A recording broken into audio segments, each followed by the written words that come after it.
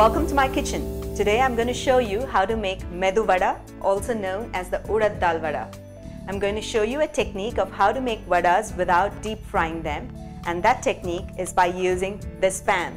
It's called the Kuzhi Paniyaram pan. So now let's dive right in and learn how to cook this delicious non-fried vada.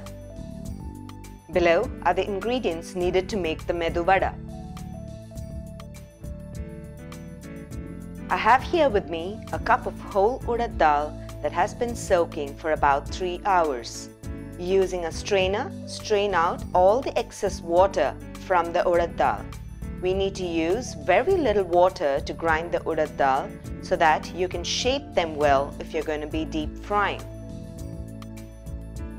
Next, we will grind the urad dal using a blender into a smooth and thick batter.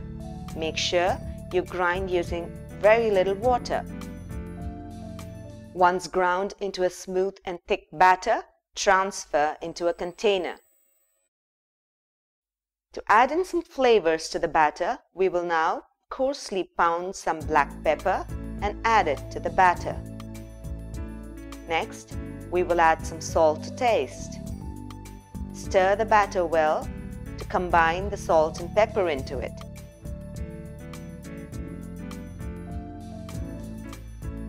You can now add in the optional ingredients into the batter to make it even more delicious.